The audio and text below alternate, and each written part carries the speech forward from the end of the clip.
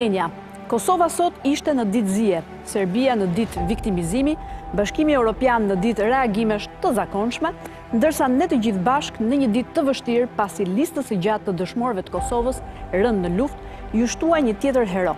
Kur pritej që Brukseli përmes ushtrimit të autoritetit të tij t'i jepte zgjidhje dialogut dhe të vendoste nën kontroll huliganizmin serb, mëngjesi i njëzet e katër shtatorit shënoi një sulm terrorist. Efektivi i policisë, Afrim Bunjaku, mbeti i vrarë gjatë përleshjeve në pjesën veriore të Kosovës, të banuar kryesisht me serbë etnikë, ku zjarri i përhapur drejt policisë pati autorësinë e një grupi kriminal të pajisur me dhjetëra automjete dhe çanta municionesh gati për një sërë sulmesh të planifikuara. E këtu nuk flitet për grupet e mercenarëve serbë që jemi mësuar të shohim rëndom të ngrenë krye, por flasim për një skuadër prej së paku tridhjetë vetësh, ushtarakë dhe paramilitarë serbë, Të trajnuar për akte të rënda.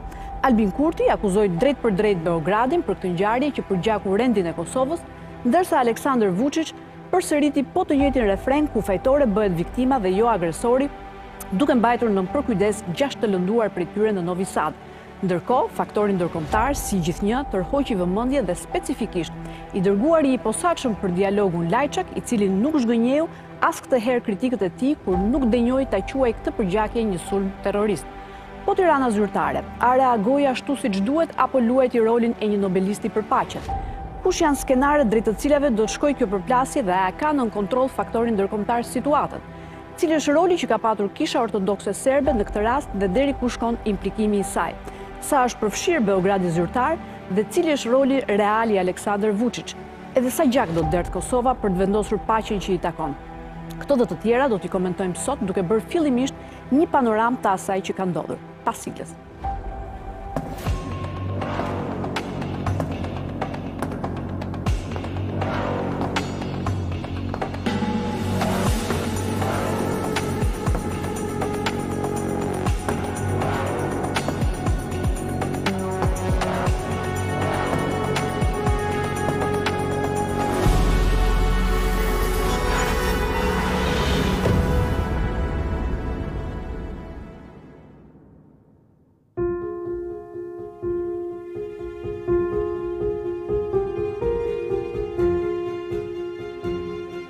Afrim Bunjaku u vra gjatë një sulmi ndaj policëve të Kosovës dhe ndaj vetë shtetit tonë, nga një grup personash shumë të armatosur dhe të pajisur rëndë, të trajnuar profesionalisht dhe me plan, të përkrahur politikisht, të financuar materialisht dhe të mbështetur logjistikisht nga Serbia.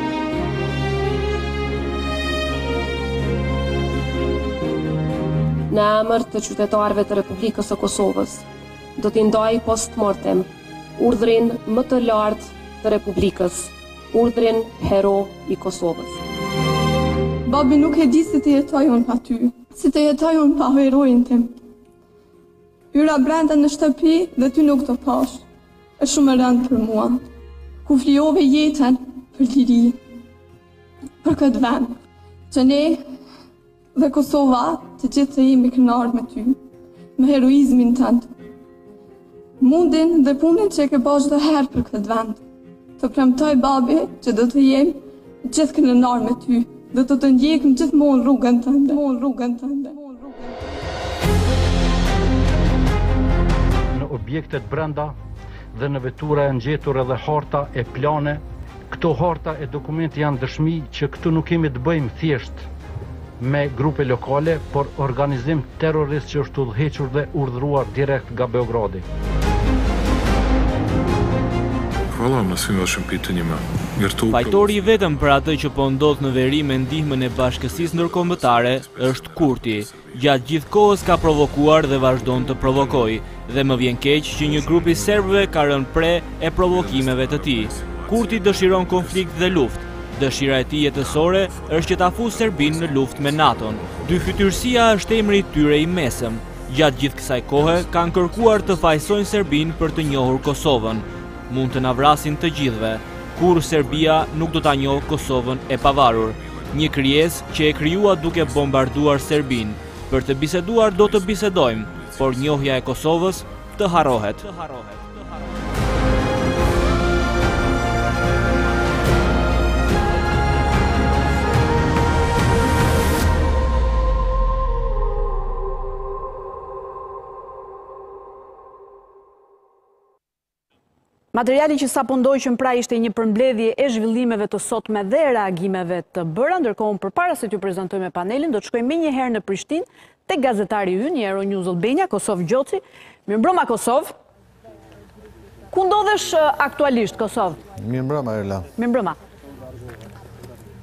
Erla, momentalisht ndodhem jo shumë larg, pra jam brenda fshatit të Banjskës, jo shumë larg, diku afër 2 km larg manastirit të Banjskës, është hera e parë realisht që nga që këto 2 ditë, ekipet e mediave janë lejuar që të futen në rrugën, që çon drejt Manastirit të Banjskës ku ka ndodhur gjithë ajo çfarë kemi pa këto dy ditë e që po vazhdon ende me aksione e policisë së Kosovës për të kapur po them personat e tjerë eventualisht që kanë qenë të përfshirë në sulmin ndaj policisë së Kosovës, por po ashtu edhe duke zhvilluar hetime të tjera për t'gjetur çfarëdo elementi që mund t'gjejnë Sa i përket gjithë asaj çfarë ka ndodhur me natën edhe ditën e njëzet e katër shtatorit, por edhe ditëve në vazhdim pastaj kur kemi pas pra deri te kapja e një arsenali të madh të armatimit i cili u paraqit sot para publikut,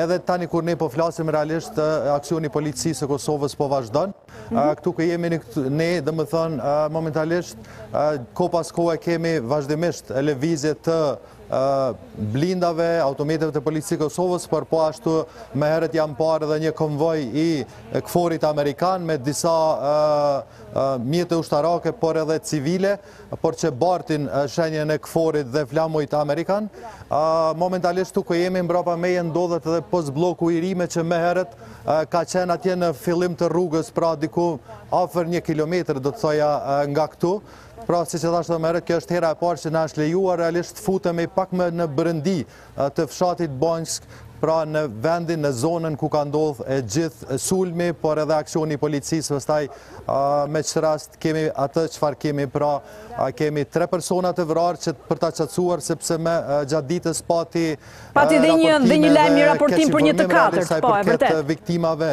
Po. Po. Realisht, ka qenë prokuroria speciale pastaj që ka arritur që të qartësojë gjithçka, duke thënë se është gjetur trupi i personit të tretë të vrarë, i cili parimisht është ditur që është vrarë nga ana e Policisë së Kosovës, por që me gjasë i plagosur ka tentuar që të largohet dhe sot është gjetur trupi i tij dikun rreth një kilometër e gjysmë larg manastirit të Banjskës ku ka ndodh e gjithë Po them, sulmi dhe luftimi ndërmjet Policisë së Kosovës dhe grupit të armatosur, pra që ta qartësojmë bëhet fjalë për tre të vrarë, janë gjashtë të arrestuar, dy prej tyre janë pjesë e grupit të armatosur, katër prej tyre janë po ashtu pjesë qytetarë serbë të cilët janë arrestuar në Rudar, pra në një fshat afër Banjskës, të cilët janë gjetur me radiolidhje dhe elemente tjera të cilat deri diku kanë ngritur dyshimin se mund të jenë suportues ose ndihmës të grupit terrorist, ndërsa sot siç e kemi pa pra dhe arsenalin e armëve që janë paraqitur pra një numër i madh i armatimeve i kalibrave të ndryshme po ashtu kemi 24 makina 24 makina, po? po?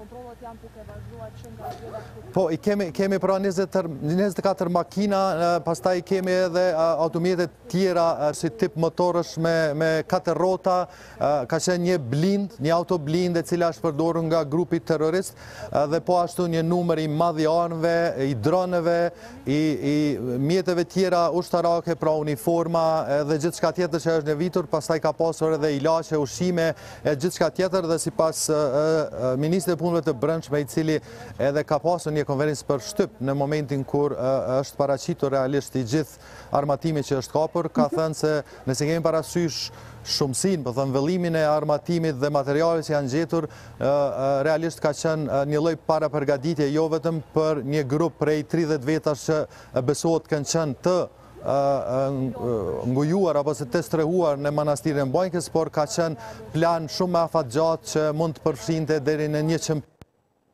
përdorin në rajtë dhe të mjetë për të... Sapo përmende Kosovë, sapo përmende edhe faktin që kishte dhe kishte dhe ilaçe dhe ushqime. Pra ky grup prej 30 personash ishte përgatitur për të qëndruar gjatë aty, me sa kuptohet, nga kjo. Në bazë të asaj që kemi pa, Eirla, pra duke filluar që nga ilaçet e ushqimet që janë kapur e deri te, po them edhe kalibri i armatimit që është gjetur aty, sipas zotit Sveçla ka pas armatime të vitit 2022, pra që është armatim i ri, pra më të fundit, prodhime të ndryshme të armëve, pastaj nuk duhet harruar të përmend, po, Nuk duhet harruar të përmend faktin që një pjesë e makinave që janë kapur kanë pasur të stampuar KFOR, pra kanë tentuar edhe të kamuflohen si patrulla të KFOR-it. Pra ishin stampime, stampime falso pra. Një pjesë për të thënë. Po, po, po, po, ishin stampime falso që kishin përdorë grupi për t'u kamufluar në mënyrë që ta kenë mundësinë të them të drejtën të lëvizin në këtë pjesë duke qenë se është pjesë goxha kodrinore, malore dhe ka shumë rrugë alternative, rrugë fshati, të cilat deri diku Ka një problem Kosovë Gjoci me... Shenjat e KFOR-it ndoshta pa u vënë re. Me internetin, me sa kuptoj. Kosovë, të falënderoj shumë për këtë ndërhyrje. Ke dhe një problem me internetin, ndërkohë, unë pikërisht te këto armatime të ekspozuara sot nga policia e Kosovës do të ndalem, dhe do të shkoj menjëherë në Beograd te gazetari Idro Seferi, mirëmbrëma Idro. Dhe ndërkaq që ndjekim pak këto pamje të armatimeve që ka ekspozuar policia e Kosovës, që tregojnë sasinë e municioneve, armë të sofistikuara, e tha dhe gazetari Kosov Gjoci, janë të vitit dy mijë e dy, të përdorura dhe nga ushtria serbe. Dhe duket një sasi shumë e madhe, Idro, pra jo për 30 persona siç është folur, por ndoshta për qindra të tjerë, apo jo? Natyrisht, këto mund të kenë qenë armë që kanë qenë logjistikë për grupe të tjera që mund të mund të kenë ardhur në Kosovë. Dihet që grupi pra i mbetur nga Serbia në në Kosovë ka kaluar një pjesë në Serbi dhe lajmi është bërë rastësisht i ditur nga gazetarët në qytetin e Novi Pazarit, atje ku shumica janë boshnjakë, pra për të kaluar në atë pjesë nga Banjska është dashur që të kalojnë nëpër territore malore dhe të kalojnë nëpër Rogozna, një pjesë që dihet pra si rrugë e kalimeve alternative që është përdorur kryesisht ndër vite për kontrabandë, pra nga njerëz të ndryshëm që kanë bartur mallra nga Serbia në Kosovë dhe këto rrugë pavarësisht që janë mbyllur në një pjesë të madhe edhe nga KFOR-i edhe nga policia e Kosovës vazhdojnë të jenë të qarkullueshme edhe pse në disa është arritur një marrëveshje dikur që të hapeshin pikëkalime kufitare por këto nuk janë zbatuar. Idro, për këtë doja të të pyesja, si ka mundësi që nuk janë pikasur as nga shërbimet e sigurisë Kosovës, as nga ato ndërkombëtare? Si ka mundësi të jenë futur gjithë këto armatime? Aty patrullimet janë shumë më të rralla se sa mendohet, pra bëhet fjalë për një territor diku mund të jetë rreth 30 km, i cili nuk mund të kontrollohet aq lehtë as me numrin e forcave të KFOR-it që zakonisht patrullon në atë ko, në atë pjesë, por nuk ka një kontroll shumë të madh. Dhe nuk duhet harruar që me marrëveshjen e Kumanovës të vitit një mijë e nëntëqind e nëntëdhjetë e nëntë, kur sigurinë në Kosovë e mori KFOR-i, ka aty hapësirë të disa kilometrave që quhet zona në mes, pra të kufijve, për shkak se duhej të krijohej një distancë dikur mes forcave të KFOR-it dhe atyre të Serbisë. Dhe kjo zonë është e famshme për për kalime të tilla, pra nuk është shumë e vështirë, zakonisht kontrabandohen aty shumë kafshë dhe gjëra të tjera të cilat pra transportohen përfshirja, ajo që është bërë e ditur, domethënë jo zyrtarisht, të paktën dy nga të plagosurit janë mjekuar në qytetin e Novi Pazarit dhe ka qenë Novi Pazari është domethënë në pjesën e që njihet edhe si zona e Sanxhakut, por është folur nëpër media se ka pasur më shumë të plagosur që janë trajtuar në spital, natyrisht për të kaluar këtë pjesë duhet patjetër të kenë ndihmë Nga dikush në anën tjetër... Pra, duhet i ndihmuar nga pala serbe, po thua. Patjetër, nga dikush, nuk dihet nëse kanë qenë këto autoritetet zyrtare, domethënë nuk ka të dhëna të tilla, por grupe të ndryshme që mund të kenë pra një ndikim mjaft të madh. Natyrisht është folur këtu edhe që Një pjesë e këtyre grupeve nuk janë edhe nën kontrollin e presidentit Vuçiç, por janë ndoshta një lloj edhe shteti brenda vetë shtetit, por këto thonë disa nga analistët që merren me çështje të sigurisë, ndërkaq pjesa tjetër kanë vazhduar që të mbështesin teoritë e presidentit, që ky ishte një organizim që dihej nga Qeveria e Kosovës dhe nga Bashkësia Ndërkombëtare, madje duke mohuar mundësinë që pra duke mos mohuar mundësinë që mund të ketë qenë edhe një përgatitje e vetë Kosovës.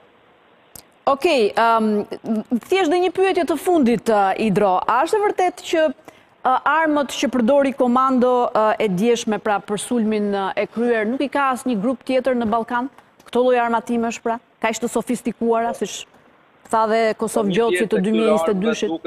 Po? Po, duket që janë prodhim serb, natyrisht në Serbi ka dyqane dhe këtu në Beograd ku mund të blihen jo vetëm armët edhe pse është shtrënguar me ligj që të mos vijnë deri shumë lehtë te kjo pjesë, por aty edhe pajisjet përcjellëse që janë pra çantat dhe uniformat mund të blihen shumë lehtë në dyqane të ndryshme, por një numër kaq i madh është vështirë që të mos dallohet nga asnjë institucion i sigurisë qoftë edhe nga NATO-ja apo edhe nga autoritetet në Serbi që thonë megjithatë që kanë qenë në dijeni për pjesën që domethënë që kur ka filluar të ndodhë kjo ngjarje dhe sepse këtu lidhet edhe fakti që këta të plagosurit pra mendohet se janë sjellë në spital rreth orës tre të pasdites pra Dhe në atë kohë besoj që institucionet kanë qenë në alarm për ta parë se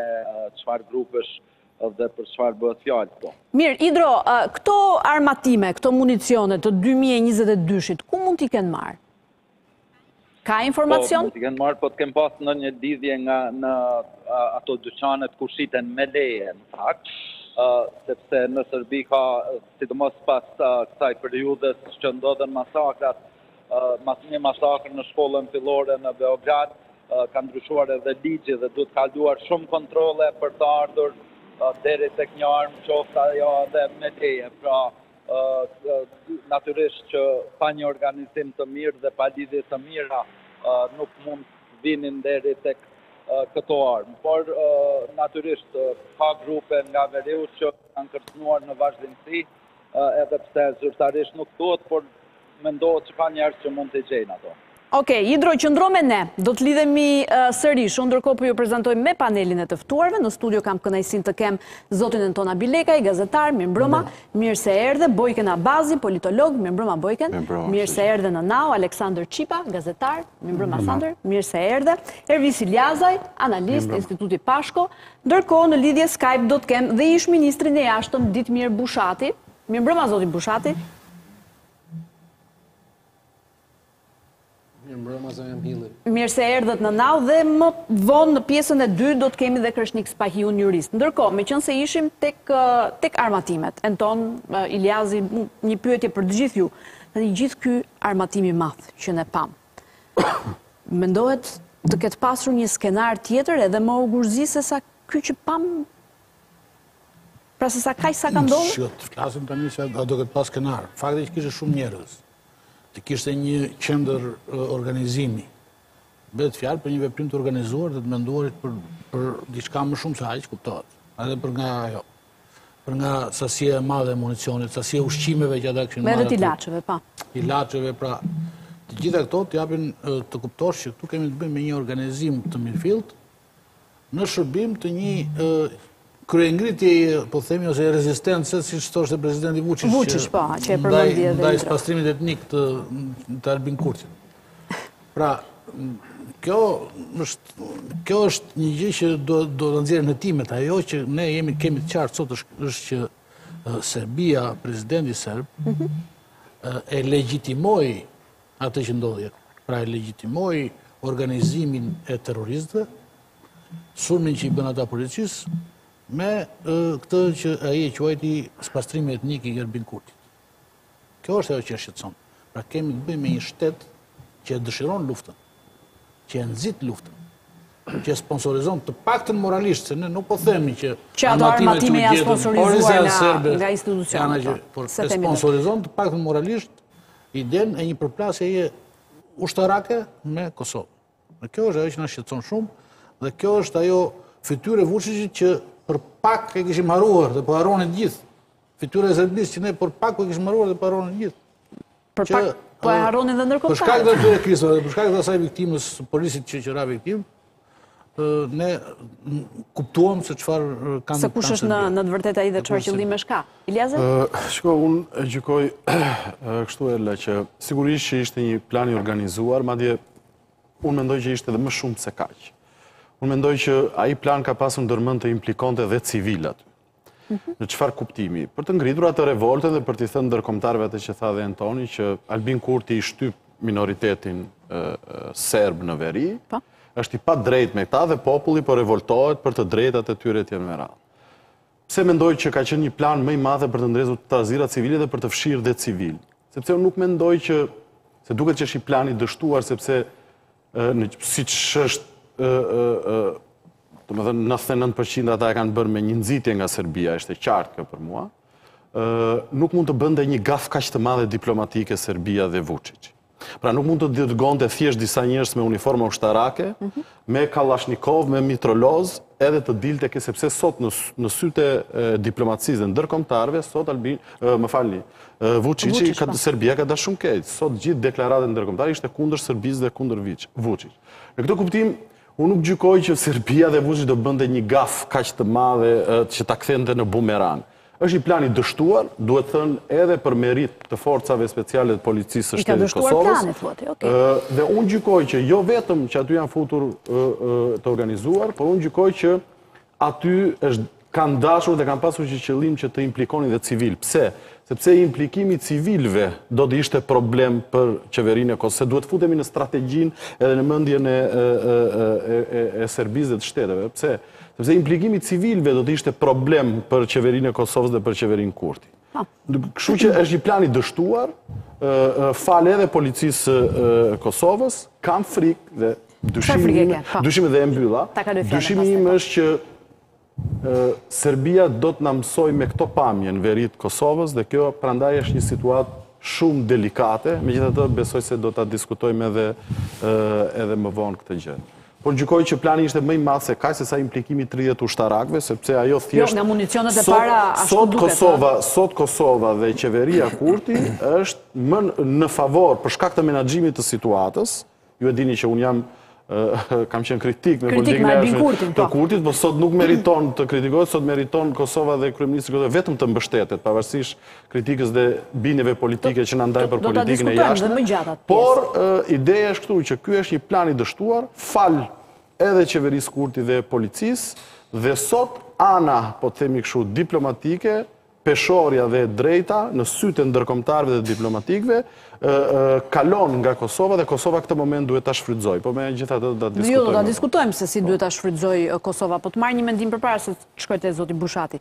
Bojken, megjithatë, qytetarët serbë në veri të Kosovës kanë qëndruar të qetë, le të themi, nuk janë nuk janë përfshirë në në këtë që ka ndodhur. Mund mund të merrte edhe përmasa të tjera e gjithë kjo histori, apo jo? Ashtu është, ata nuk janë përfshirë, po më lejoni së pari. Po? Se sot ka qenë ditë zie në Kosovë. Po, e vërtetë. Më lejoni të shpreh ngushëllimet e mia për rreshterin e rënë në detyrë, për familjarët e rreshterit Afrim Bunjaku nga Vushtrria, kolegët, gjithë Kosovën dhe kombin shqiptar.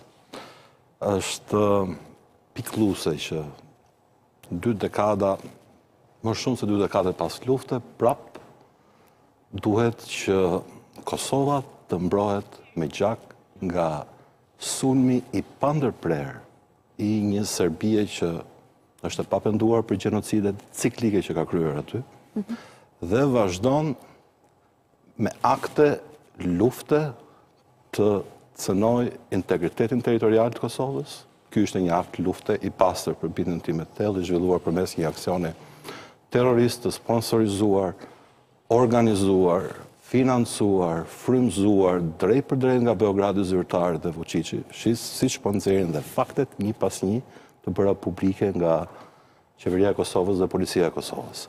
Jemi duke folur për një akt që ka shkelur jo vetëm sovranitetin dhe integritetin territorial dhe të drejtat e njeriut, që ishin parime që u theksuan nga presidenti Biden në fjalimin e tij të fundit në OKB. Po jemi duke folur për një akt që ka shkelur dhe marrëveshjen e Kumanovës, Pra ka ka shkelur drejtpërdrejt një marrëveshje të kryer nga NATO, ka shkelur marrëveshjen e Ohrit, një akt i cili ka dashur për bindjen time të thellë të nisi një konflikt të armatosur në veriun e Kosovës që Vuçiçi të sigurojë një pozicion më të favorshëm në bisedime. Dhe, ashtu siç u tha dhe nga parafolësit, mhm. Pajtohem që ky akt mbeti në tentativë edhe pse patëm një humbje jete. Po, u dështoi për shkak të profesionalizmit, heroizmit dhe trimërisë së policisë së Kosovës. Ok, zoti Çipa, e shihni dhe ju kështu pra si një dështim në fakt? Dhe apo e sponsorizon Beogradi të paktën moralisht? Jo, jo vetëm moralisht. Ka dy gjëra të cilat janë dy elemente të cilat përcaktojnë edhe pozitën e realizmit tonë ndaj asaj që konsiderohet si akt terrorist dhe që ndan dy opinione. Aktin terrorist përcaktuar zyrtarisht si i tillë nga autoritetet e Kosovës dhe aktin kriminal në mënyrë të moderuar që e përcaktojnë disa nga autoritetet ndërkombëtare, përfshi edhe autoritetet e Shqipërisë. Ka dy gjëra të cilat ne nuk mund t'i anashkalojmë. E para njëherë, nëse kini vënë re, edhe pse procesi hetimor nga mhm. prokuroria e posaçme e Kosovës vazhdon, autoritetet e KFOR-it janë po kaq monitoruse të të gjithë procedurës hetimore, që do të thotë identifikimi i të gjithë elementëve që ishin pjesëtarë të grupit terrorist, është një proces ende në vazhdim. Pse e them këtë? Sepse nga e raportimet e deritanishme, një pjesë e tyre nuk janë nga Mitrovica Veriore, siç u pretendua, apo nga territoret e serbe të Kosovës. Po përkundrazi, janë nga territori më i largët, më i epërm i Serbisë. Dhe këtë gjë e kanë thënë një pjesë e mirë e mediave ndërkombëtare. Nuk po e thonë vetëm mediat shqiptare. Kjo është shumë e rëndësishme për të përcaktuar implikacionin që vjen nga nga nga pala serbe. E dyta, do zbardhet database-i i çdo individi. Nëse ata kanë një të shkuar ushtarake, apo rekrutuse, që kjo është po kaq e rëndësishme. Sot ka pasur indicie në shtypin gjerman, dhe flas për gazetat, dhe këtu i referohem publikimeve që ka bërë gjatë dit ditës sot kolegu Enver Robelli, mhm. që ka bërë edhe përkthim të raportimeve që janë bërë nga dy nga gazetat më të rëndësishme gjermane, po. dhe që flet për një implikim shumë serioz dhe një ndërlidhje midis këtyre personave që formësojnë këtë po e themi këtë grup kriminal që në fakt është më shumë se aq, mhm. që është një strukturë, se elementet e strukturës i ka evidente. E kanë thënë gjithë ekspertët kriminalistikë sot, sepse është mënyra e uniformës, është mënyra e procedimit, është parangjarja, është strukturimi mënyra se si ata u strehuan në të njëjtin objekt të gjithë, që do të thotë që kanë qenë të përgatitur edhe për rastin tjetër. Po këto ne kur i diskutojmë publikisht duket sikur po bëjmë ekspertin ushtarak. Jo, ne nuk bëjmë ekspertin ushtarak, por mjafton ky detaj që të kuptosh se sa implikim të drejtë për drejtë. Dhe ajo që thonë kolegët, mhm. unë ndaj të njëjtën, pasojat për autoritetin përgjegjës që ka Serbia për këtë episod do të jenë besoj edhe në reagimet institucionale. Jo më kot, jo më kot sot është vleftësuar Mëvetësia e negociatorit më të rëndësishëm në bisedime. Pikërisht. Dhe një pjesë e mirë e medias ndërkombëtare dhe fatmirësisht dhe medias europiane këtë kritikë e ka të adresuar në mënyrë nominale. Okej, do flasim dhe për atë. Zoti Bushati, ditë zie sot për Kosovën, një polic i rënë në krye të detyrës, a duhet të ishte ditë zie edhe për Shqipërinë?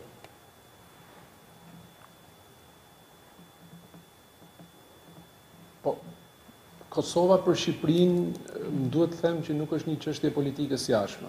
Pra është çështje e interesit kombëtar. Kosova është Shqipëri dhe kjo që po them nuk është folklor.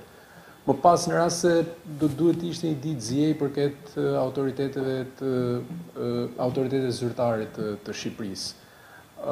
Ajo që dua të them është që nuk kemi të bëjmë thjesht me një polic rënë në krye detyrës apo me një ngjarje kriminale, se në rast se do të ishte kaq, nuk do të kishte nevojë fare për deklarata dhe qëndrime nga institucionet ndërkombëtare dhe nga partnerët ndërkombëtarë apo edhe nga vetë Shqipëria. Por sfondi i ngjarjes mm -hmm. është jashtëzakonisht i rëndësishëm dhe i rrezikshëm në të njëjtën kohë, sepse Bëhet fjalë për të njëjtën Serbi që nuk ka pranuar realitetin e pasluftës, bëhet fjalë për të njëjtën Serbi dhe një regjim tashmë i konsoliduar i një personi të vetëm, me lidhje të forta me krimin e organizuar dhe korrupsionin, të denoncuar nga institucione ndërkombëtare dhe nga gazeta dhe media prestigjioze, ndaj cilit Perëndimi, sidomos pas shpërthimit të luftës në Ukrainë, tentoi ta merrte me të mirë dhe ta përkëdhelte me shpresën që do të menaxhonte disi rrezikun në Ballkanin Perëndimor dhe më posaçërisht raportet e Serbisë me Kosovën, me Bosnjë-Hercegovinën dhe me Malin e Zi. Sot edhe një herë tjetër Serbia është lakuriq, është edhe më larg Bashkimit Europian, edhe më larg Perëndimit, por nuk kam ende qartësi njëqind për qind për të menduar që ky do të jetë episodi i fundit i Serbisë në raport me fqinjët. Shpresoj dhe uroj shumë që i gjithë faktori shqiptar, jo thjesht Kosova, por këtu e kam fjalën posaçërisht për ne si Shqipëri dhe për shqiptarët në Maqedoninë e Veriut, për shqiptarët në Malin e Zi, për shqiptarët në Preshevë, të kuptojnë rrezikun që i kanoset rajonit tonë nga prishësja e stabilitetit rajonal që është po ajo Serbi, presidenti i së cilës pati kurajën që të fliste para pak ditësh në Asamblenë e Kombeve të Bashkuara, edhe një herë tjetër duke krahasuar ndërhyrjen e NATO-s në Kosovë me aneksimin që i ka bërë Vladimir Putini Ukrainës. Ministri i Jashtëm i Serbisë pati kurajën të takojë ministrin e Jashtëm të Rusisë në kulmin e një izolimi diplomatik dhe politik në të cilën ndodhet Rusia si pasojë e prishjes të gjitha rregullave dhe ekuilibrave të sanksionuara nga e drejta ndërkombëtare. Zoti Bushati, ëhë. Prandaj, më shumë sesa të diskutojmë për taktikat, më shumë sesa të diskutojmë për taktikat e Vuçiçit, për mënyrën se si do të paraqitet Vuçiçi pas kësaj ngjarje në arenën ndërkombëtare, është e rëndësishme që një herë e mirë të kuptojmë cili është interesi ynë kombëtar si shqiptarë. dhe sa përputhet interesi ynë si një komb i vogël, por që e ka paguar historinë me gjak ndër shekuj, në raport me konjunkturat e faktorit ndërkombëtar. Këtu do duhet të kishte qenë i fokusuar debati edhe gjatë këtyre dy viteve, më shumë sesa tek stigmatizimi i Albin Kurtit apo Vjosa Osmanit. Zoti Bushati, ju thatë pak më parë që ky episod mund të mos jetë i fundit.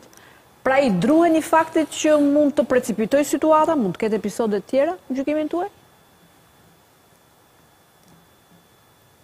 Erla, ta them të drejtën, kjo është një kjo është një ngjarje dhe një episod të cilën në një mënyrë a një tjetër unë e kam kaluar në lëkurë. Është Pak a shumë e njëjta Serbi që rrotullohet rreth doktrinave të saj që i ka të palëvizshme, së pari tendencën për të pasur më shumë territor dhe për të pasur ekspansion territoresh. Pra është i vetmi vend në rajon që flet për territor, nuk flet për drejtat e njeriut, nuk flet për njerëz. Së dyti flasim për Kishën Ortodokse Serbe. Ka një veprimtari, ka një veprimtari përçarëse jo thjesht në Kosovë, por edhe në në në në në Malin e Zi. E e vë në pikëpyetje edhe sot e kësaj dite pavarësinë e Malit Malit të Zi si shtet. Së treti, ë e gjithë doktrina e e, e Serbisë bazohet mbi etnocentrizmin. E kam parë dhe riparë disa herë dhe gjatë kësaj periudhe atë dokumentarin e famshëm të BBC-s Vdekja e Jugosllavisë, Death of Yugoslavia. Dhe po ta shihni aty luftrat nga nga filluan. Filluan po nga nga Serbia, nga fakti që Serbia nuk pranon dot një lloj decentralizimi, po kërkon me çdo kusht Që gjithë serbët jetojnë brenda një territori dhe ky territor të jetë sa më, sa më, sa më i madh. Ndërkohë që e gjithë arkitektura e sigurisë mbi të cilën ka investuar Perëndimi dy dekadat e fundit në rajonin tonë është në kontrast thellë me atë që kërkon Serbia edhe sot e kësaj dite. sepse është i bazuar mbi liritë dhe drejtat themelore të njeriut, është i bazuar mbi bashkëjetesën mes etnive të ndryshme. Kjo është edhe një nga arsyet pse flamuri në Kosovë ka disa yje, sepse tek e fundit ne të gjithë e dimë që nëntëdhjetë e pesë, nëntëdhjetë e gjashtë për qind e e e qytetarëve të Kosovës janë janë shqiptarë, por pikërisht sepse është ndërtuar mbi bazën e këtyre kompromiseve. Dhe Serbia është në një pozicion të tillë që as nuk e pranon këtë këtë këtë realitet dhe as nuk është e gatshme që të lëvizë përpara në rrjedhat europiane sepse në rrjedhat euroatlantike do të ishte tabu. Le mos harrojmë që drejtohet nga një njeri i cili Ka pasur nji të kaluar të errët, ka qenë ministër i Millosheviçit, ka bërë thirrje publike duke qenë si argat i Sheshelit që për nji mysliman apo nji kroat apo nji shqiptar, më fal, për nji serb duhet vriten njëqind myslimanë shqiptarë apo apo apo kroatë. Çdo njeri ka drejtën e rehabilitimit, edhe ai mund të ketë menduar që po rehabilitohej, po dymbëdhjetë vjet nga nga nga sundimi i tij në në në Serbi, ai nuk ka asnjë hap konkret në drejtim të bashkëjetesës paqësore me fqinjët, dhe kur them për fqinjët, e kam fjalën për shtetin e Kosovës, për shtetin e Malit të Zi. Ai spekulon duke tentuar t'i përçajë shqiptarët, duke thënë që me shqiptarët ai s'ka asgjë, por në fakt ka një dallim shumë të rëndësishëm mes asaj që quhet shqiptarë në përgjithësi që jetojnë në pesë gjashtë shtete, në rajon dhe shtetësisë Kosovës. Dhe këtë gjë politika shqiptare duhet ta refuzojë me vendosmëri. Ka një pyetje Bojkeni për ju, Zoti Bushati. Zoti Bushati, unë e vlerësoj qëndrimin tuaj dhe pajtohem me shumë çka çfarë ju thatë në lidhje me analizën që i bëni situatës, me shqetësimin që shprehni për aktet e Serbisë në të ardhmen e afërt ose edhe më tutje, por pyetja ime është kjo. Bindja ime e thellë prej shumë vitesh është që ndaj një shteti gjenocidal dhe të papenduar si Serbia që vazhdon me agresionet e veta dhe me aktet e luftës edhe ndaj shteteve tjera të rajonit siç ishte rasti konkret në Kosovë. Nuk ka ardhur dhe për mos thënë që është vonuar tej mase koha që ndaj këtij shteti të kërkohet që të vendosen sanksione të llojeve nga më të ndryshme. Së pari që të pezullohen marrëdhëniet le të themi ekonomike apo ndihma ekonomike që këtij shteti i vjen nga Perëndimi, të rishikohet marrëdhënia e Republikës së Shqipërisë dhe të jetë edhe vetë Republika e Shqipërisë që kërkon një zëri bashkë me Kosovën që ka kërkuar prej vitesh vendosjen e sanksioneve ndaj këtij shteti gjenocidal. A mendoni që ka ardhur koha që më intereson së pari opinioni juaj personal Së dyti, mendimi juaj mbi qëndrimin që duhet të mbajë qeveria e Shqipërisë. Pikërisht, këtë pyetje kisha dhe unë, zoti Bushati, sepse teksa e dëgjoja zotin Bushati të fliste, reagimi i tij, po dhe reagimi që keni bërë në rrjetet sociale këto dy ditë, ka qenë edhe më i fortë se ai i qeverisë shqiptare, ose i Edi Ramës, konkretisht. Dhe Shumë thonin që qëndrimi që mbajtët ju është qëndrimi i duhur që duhet të mbante dhe dhe Tirana zyrtare. Ju si e keni parë?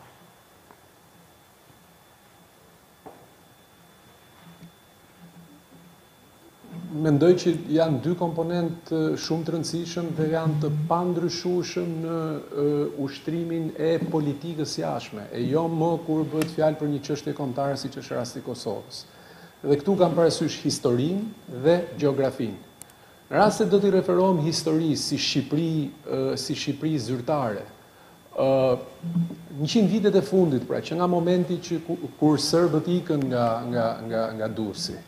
Raporti ynë me Serbinë është përmes gjakut, masakrave, krimeve kundër njerëzimit, genocidit dhe gjakut që është derdhur nga shqiptarët që kanë jetuar në ish-Jugosllavi, të cilët në shumicën e tyre natyrisht kanë jetuar në Kosovë.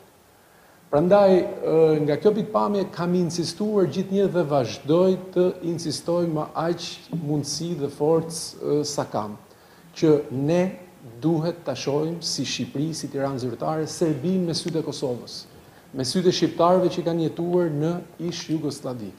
Sepse edhe procesi i shpërbërjes së ish-Jugosllavisë është një proces që nuk ka pse të përfshihet Shqipëria, sepse Shqipëria tradicionalisht i ka rezistuar tundimit të përfshirjes në këtë proces. Për Shqipërinë është shumë e rëndësishme avancimi i të drejtave të shqiptarëve kudo ku ato jetojnë. dhe siguria dhe perspektiva euro-atlantike e këtij rajoni. Së dyti gjeografia. Jo më kot deviza tradicionale e politikës së jashtme shqiptare ka qenë mes Italisë dhe Greqisë apo mes boshtit të Romës dhe të Athinës. Për një arsye shumë të thjeshtë, për përkatësinë tonë mesdhetare dhe europiane. Nuk kemi ne një kufi me me me me Serbinë. Me këtë nuk dua të them dhe kjo nuk është një recetë për luftë, sepse ka ka nevojë për analiza edhe më të esëllta, edhe më të ftohta. Nuk dua të them që nesër pasnesër me Serbinë nuk duhet të ketë kontakte dhe nuk duhet të ketë marrëdhënie diplomatike, sepse pas pak javësh ndoshta vetë Albin Kurti do të riulet sërish në tryezën e bisedimeve me Aleksandër Vuçiq dhe kundërshtarin nuk e zgjedh dot. Por më lejoni që të them që edhe mbas 50 apo 100 vitesh, mhm. marrëdhëniet tona me Serbinë do të vazhdojnë të jenë marrëdhënie që në rastin më të mirë mund të jenë marrëdhënie normale. Por do të jetë shumë e vështirë që në 50 apo 100 vitet e ardhshme të bëhen ndonjëherë marrëdhënie miqësore siç janë marrëdhëniet tona me Italinë dhe me Greqinë. Mua më ka shqetësuar shumë, aty keni kolegë të nderuar të medias që pesë gjashtë vitet e fundit Aleksandër Vuçiç është shumë prezent në mediat shqiptare. Është shumë më tepër prezent se kryeministrat e Italisë, se kryeministrat e Po Greqisë. kush e ka sjellë Dua t'ju kujtoj që më shumë se njëzet për qind e prezencë më shumë? shqiptarëve, më shumë se njëzet për qind e shqiptarëve jetojnë në Itali, jetojnë jetojnë në Itali apo jetojnë në Itali apo jetojnë në Greqi. Le t'i bëjmë një pyetje vetes dhe le të shmangemi për një çast nga ato rivalitetet pseudopolitike të tipit më pëlqen Albini se është i majtë apo s'më pëlqen Vjosa se është shumë e guximshme apo është marksist apo është komunist apo është anti kështu anti ashtu. Dhe le të shohim të mirën e përbashkët, interesin e përbashkët. Po i referohem avenirit tonë europian. Pse është Vuçiçi kaq prezent në mediat tona dhe nuk ishte Boris Tadiç?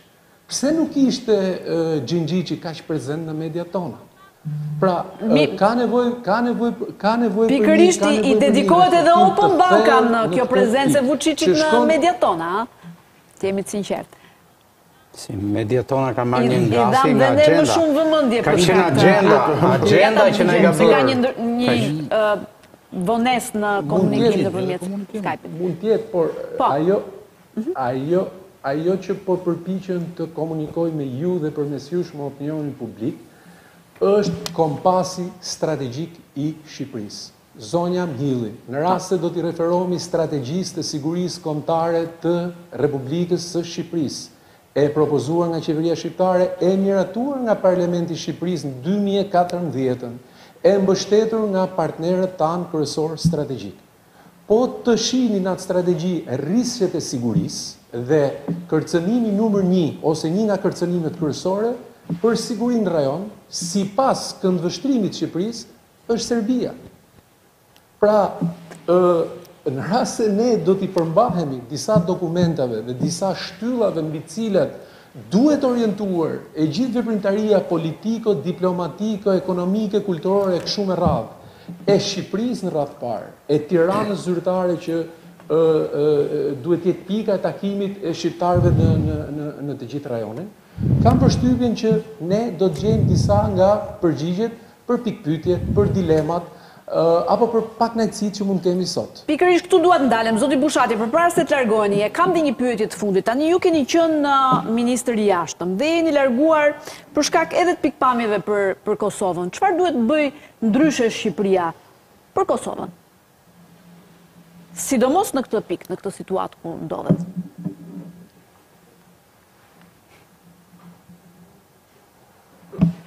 Është shumë e rëndësishme që marrëdhënia mes Shqipërisë dhe Kosovës të shkojë përtej individëve.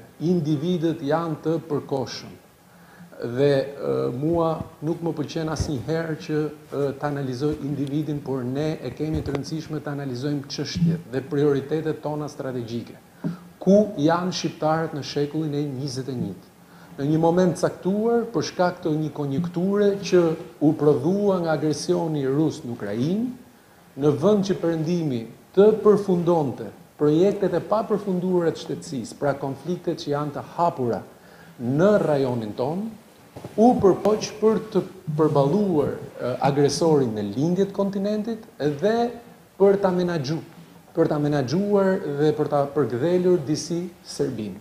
Kjo përkëdhelje e Serbisë, me aq sa unë kuptoj, lexoj dhe me kontaktet që kam, në një mënyrë a një tjetër vjen në kurriz jo vetëm të faktorit shqiptar, po në kurriz të të gjitha shteteve dhe kombësive të cilat ndihen të kërcënuara nga Serbia.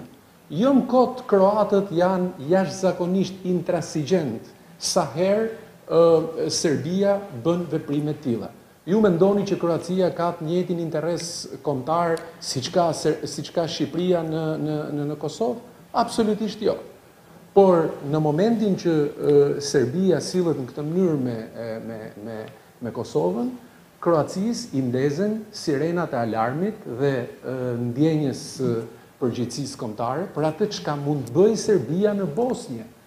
ku Kroacia ka një interes kombëtar për shkak se jetojnë kroatë, apo për atë çka mund të bëjë Serbia në Malin e Zi, për shkak se aty gjithashtu ka një minoritet të vogël kroat, por ka edhe një dalje në Adriatik. Dhe Serbia dhe Kroacia si një vend i përgjegjshëm që ushtron një politikë të jashtme konservatore e kupton fare mirë se çfarë do të thotë kjo. Çfarë duhet të bëjë, çfarë mendoj se mund të bëjë Shqipëria? Shqipëria, po, për ta mbyllur, po. Në radhë të parë, po, në radhë të parë, Shqipëria duhet ta shohë Serbinë me sytë e Kosovës. Mund të ketë një mijë diferenca nga pikpamja e qasjes ekonomike, modeleve të ndryshme të zhvillimit, politikave të caktuara që mund të ndjekë një qeveri apo një qeveri tjetër në Kosovë. Por kur vjen puna tek trajtimi i Serbisë, këshillat, sugjerimet, kontaktet mund të jepen në rrugë vëllazërore. Ne kemi pasur situata mjaft të vështira edhe në vitin katërmbëdhjetë, edhe në vitin pesëmbëdhjetë, edhe në vitin gjashtëmbëdhjetë edhe për tema shumë delikate, siç është rasti i miratimit të Gjykatës Speciale, rasti i Asociacionit, apo konfliktet e tjera që destabilizuese që ndodhnin në atë periudhë. Por komunikimet edhe në ato raste kur mund të kenë qenë me tone të ngritura, kanë qenë vllazërore dhe brenda një dhome të caktuar, jo për opinionin publik, sepse para se të jemi euroatlantikë, ne jemi shqiptarë, ne identifikojmë veten si shqiptarë, më pas se i përkasim një civilizimi të caktuar.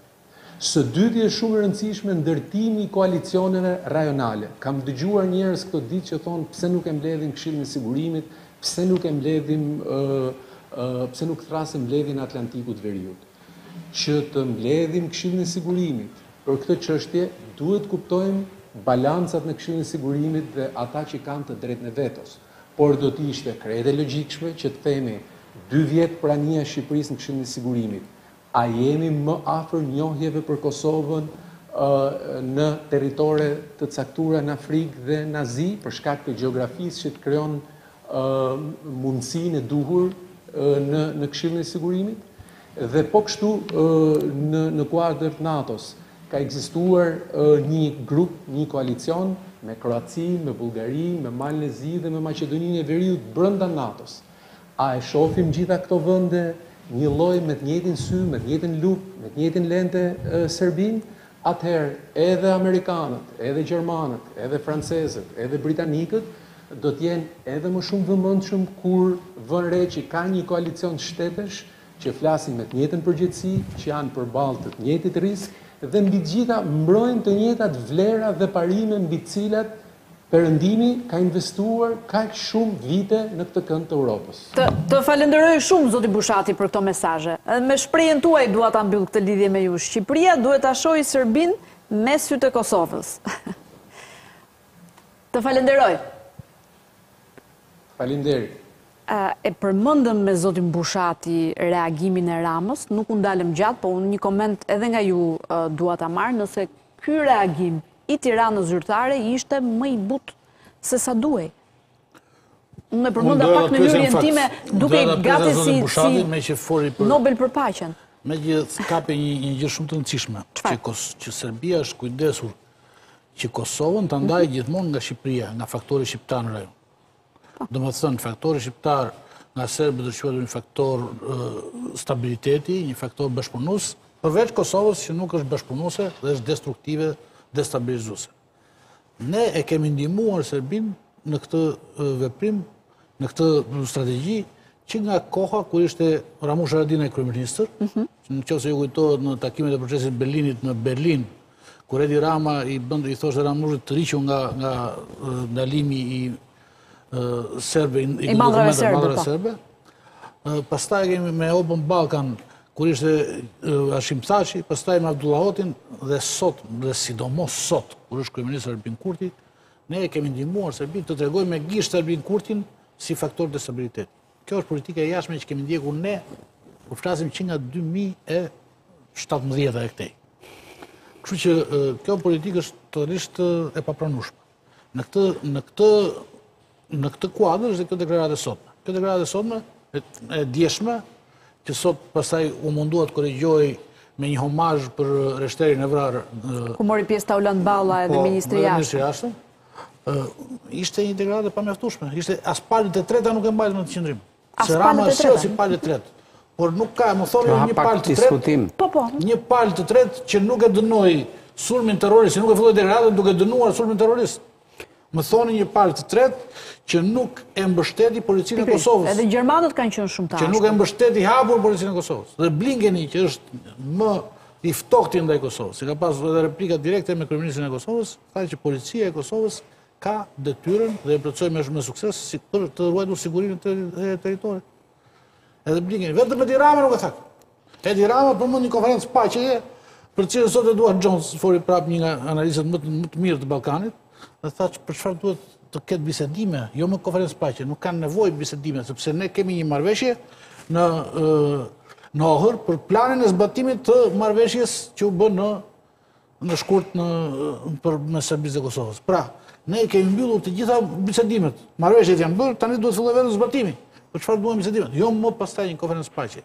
Pra, politika jonë është totalisht kundër Kosovës. Është totalisht në drejtim të kundërt me Kosovën. Po, në drejtim të kundërt, kaq zi e shef ti. Është më kundër se sa që janë edhe vendet më... Edhe, edhe Lajçaku nuk është kaq kundër sa, sa që është e Jo, Lajçak është më kundër se kundër, po. Shiko, për një pjesë të qasjes dhe unë jam dakord me kolegun, por në diplomaci, çka lë mangut fjala mund ta plotësojë veprimi, dhe prezenca e dy ministrave më të rëndësishëm, jo vetëm thjesht në homazh, se nuk është vetëm homazhi, është një pranësi institucionale Dhe republikane aty brenda, kur shkojnë dy ministrat më rënë, njëri ministri i brendshëm, tjetri ministri i jashtëm.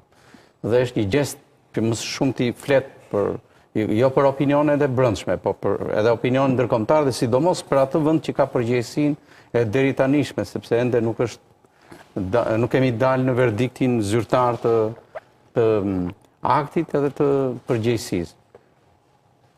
Unë jam në të njëjtën pikëpamje që Shqipëria zyrtare nuk mund të mbajë një pozitë të përhershme të luajalistes, sepse ajo është pjesë e interesit tonë kombëtar dhe aq më tepër kur aleati strategjik, se dhe këtë duhet ta themi. Se ne themi dhe një pjesë e mediave e kanë thënë këtë gjë. Arsye që ky grupi terrorist që ka qenë aty po, nuk është një, një thjesht një shërbesë e qeverisë Kurti. Do dalin, se ka raportime nga mediat, mhm. që edhe shërbimet inteligjente të aleatëve strategjikë kanë paralajmëruar. Sepse ka 6 muaj që në mediat britanike përmendet tensioni në Kosovë dhe në Serbi. Ka një vit e kusur që janë hedhur versione nga reporterët e krimit dhe raportimit për botën kriminale, se çfarë po përgatitet. Dhe jo më kot, edhe këto që ishin fake, jo për strukturat e Wagnerit e tjerë e tjerë, janë pjesë e një, po e themi, skenari i cili ka qenë i përgatitur. Kosova këtë betejë e ka fituar nga ky moment, se pozita e kryeministrit Kurti në tryezën e radhës që do të përgatisë Brukseli, pas kësaj nuk është ajo pozitë që ka qenë para Që ishte para, janë forcuar pozitat sigurt, dhe këtë duhet ta themi. Dhe e treta, që është kaq e rëndësishme, janë thyer dy principe që parashikohen nga e drejta ndërkombëtare dhe legjislacioni rajonal. E para njëherë se vijnë trupa të armatosura dhe futen në një territor që administrativisht nuk e kontrollon ai dhe s'ka asnjë atribut ta kontrollojë ai tjetri. Dhe këtë gjë ai nuk e pranon. Dhe këtu ndoshta Republika e Shqipërisë duhet ta përcaktojë se janë persona të armatosur që të shkaktojnë asociacionin e ngjarjeve që kemi përjetuar ne në tranzicionin e dikurshëm.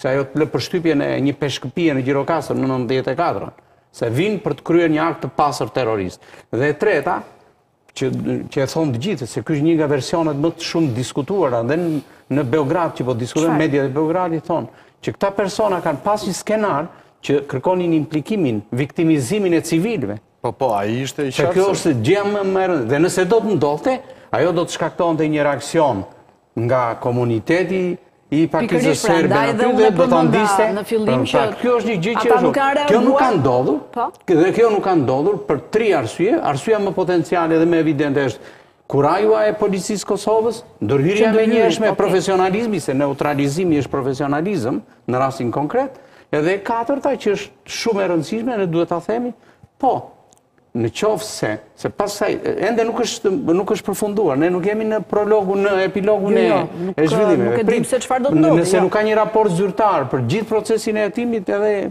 analiza jonë është e cunguar, është e pamjaftushme. Por ne duhet të marrim atë verdikt dhe ke për të parë që do të hapi shumë çështje edhe për Brukselin dhe në mënyrë të veçantë për Brukselin, Kjo është e parathënë. Jo më kot shtypi gjerman sot, në mënyrë më të ripërsëritur, kësaj gjëje i drejtohet. Se akuzon në mënyrë kritike shtypi gjerman sot, Brukselin për një javashllëk dhe për një qëndrim të pabarabartë dhe të padrejtë. Po, pra, kjo është një gjë që do të shfaqet në ditët e ardhme. Pra, ju mendoni që do hapi petët e lakrorit edhe për Brukselin, kjo ngjarje që ka ndodhur? S'e përjashtoj mundësin. Nuk e përjashtoj. Zoti Iljazi? Unë mendoj që Ne mund të diskutojmë tani të gjithë këtu edhe të etiketojmë se kush është djalli. Dhe dihet kush është djalli në këtë histori dhe nga qëndron e drejta. historike e ça të doni ju. Pra nuk mjafton që ne të bëjmë politikën tonë dhe interesin tonë kombëtar, duke thënë që duke treguar me gisht shovinizmin serb, e tjerë dhe me the, dhe ne e mbyllëm misionin tonë. Se kam përshtypje që ndonjëherë Edhe politika e jashtme, edhe në Kosovë, edhe në Shqipëri, shpeshherë, por në Shqipëri për t'u diskutuar është kjo, është që ne mjaftohemi për të thënë se ku qëndron e drejta, apo jo, edhe në këtë rast.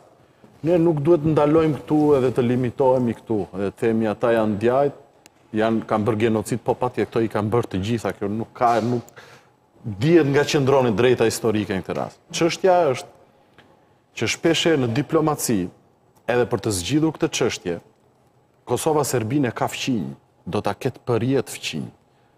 Atë djall që është atje do ta ketë fqinj gjithmonë dhe duhet të bëjë llogaritë me këtë gjë. Unë mendoj që radikalizimi, konfliktet në veri e tjera, megjithëse kjo duket si një fitore e parë e shtetit të Kosovës, por nuk duhet të gëzohemi shumë në këtë kuptim. Pse? Sepse konfliktet dhe radikalizimi në veri të Kosovës i interesojnë vetëm Serbisë, asnjë asnjë shteti tjetër. Nuk i interesojnë Kosovës. Në këtë kuptim ne duhet ta fusim diskutimin në një kontekst, sepse në diplomaci nuk mjafton të kesh të drejtë, duhet të kesh dhe mjetet për të realizuar të drejtën. Edhe edhe po pra, ja tani edhe Çamëria është e drejtë të ishte me Shqipërinë. Drejta historike kështu e do, por nuk është. Nuk është dot.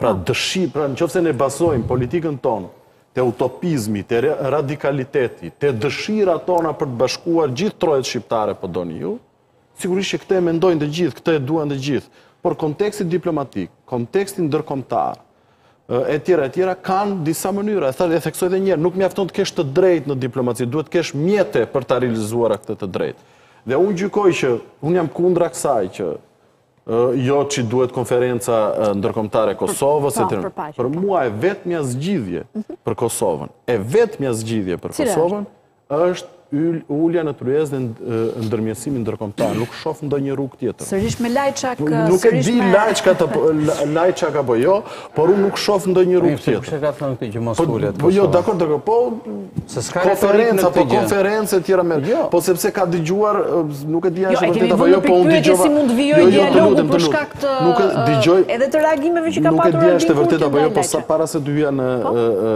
në emision dëgjova një lajm që me sa duket nuk jam i sigurt për këtë duhet konfirmuar që Kurti ka refuzuar një kërkesë të Bashkimit Evropian për momentin për t'u ulur në në tryezë. Është për t'u konfirmuar, por e lexova para se të hyja. Kështu që në qoftë se ne vazhdojmë me këtë revanshin tonë në kuptimin sepse ata po na bëjnë padrejtësi dhe ne të qëndrojmë stoikë në pozicionet tona, Dakord, ne këtë mund ta bëjmë, ne mund ta shprehim patriotizmin romantik, por çështja është që këto zgjidhje bëhen me diplomaci dhe në qoftë se dalim nga kjo rrugë, jemi në rrugën e gabuar në gjykimin tim. E gjitha shkon në favor të të Serbisë nëse veprojnë. Zoti Abilekaj një ndërhyrje, ka të bëjë keni dhe zoti.